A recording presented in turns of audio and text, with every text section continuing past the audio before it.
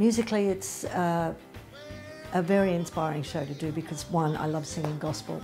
I get to perform with Nick Barker and Dannie Bourne. These songs that I'm going to be performing are, are, going to lift me. I don't just sing uh, the gospel, I sing some Bob Dylan and Cat Stevens, and it's one of those stories that anyone can relate to. I hear music in the air, it's just, it lifts you.